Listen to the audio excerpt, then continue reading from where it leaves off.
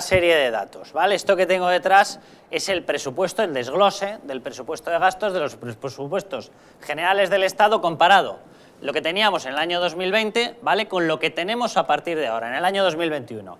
Sé que es una auténtica maraña de datos, pero simplemente les pido que se fijen en dos. Casilla número uno, Casa de Su Majestad el Rey. Presupuesto base en el año 2020, 8 millones de euros, ¿vale? Presupuesto en estos momentos con el nuevo presupuesto general del Estado para 2021, 8 millones de euros. Incremento cero, ¿vale? Ahora miremos otra casilla, ¿vale? Aquí, la de la duquesa, la marquesa de Galapagar, ¿vale? Ministerio de Igualdad.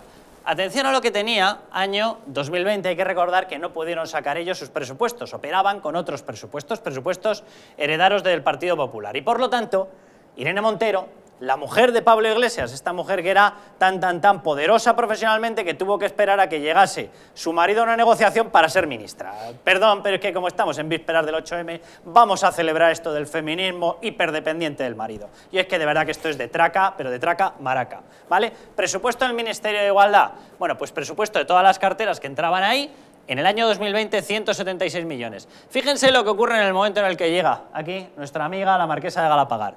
451 de 176 a 451. Le pregunto a las mujeres, ¿han visto una enorme diferencia en el trato, en la defensa de sus derechos? Pues yo no sé si lo han notado ustedes, yo la verdad que he notado poco, ¿vale? Pero, atención, de 176 a 451 el gasto simplemente por la llegada de uno de estos señores que no quieren tener un coche oficial a la puerta de su casa, no, quieren tener dos, más dos séquitos, más utilizar con presupuesto del Estado a los jefes de gabinete bis, juntos añadidos, etcétera, etcétera, ídems, los quieren utilizar como niñeras. Y además, a las personas que tenemos de escolta los utilizamos de personal de servicio doméstico y les mandamos a calentar el coche, porque somos así de pijos revolucionarios y de pijoflautas. Bueno, simplemente les hago una comparativa. En este incremento, ¿vale? Nos caben 34 casas reales. Eh, lo digo por esa pregunta que suelen hacer algunos de ¿cuánto nos cuesta? Venga, díganlo, transparencia, ¿cuánto nos cuesta la Casa Real?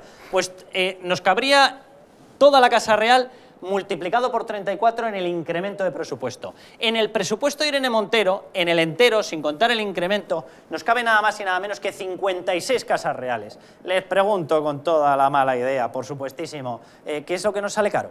¿Nos sale cara la Casa Real o nos salen caros los marqueses? Bueno, nos vamos a publicidad, volvemos y les mostramos todo lo que está pasando con la violencia que amparan estos mismos, los de Podemos, ¿vale? Echenique, diciendo que es que estos señores que están reventando las calles, destrozando comercios, destrozando bares, atacando a las policías, que son poco menos que revolucionarios, que claro, que defienden la libertad de expresión. Vamos, desde luego, ¿cómo tienes que tener la cabeza para pensar que la libertad de expresión se defiende a doquinazos? Nos vamos a publicidad y volvemos.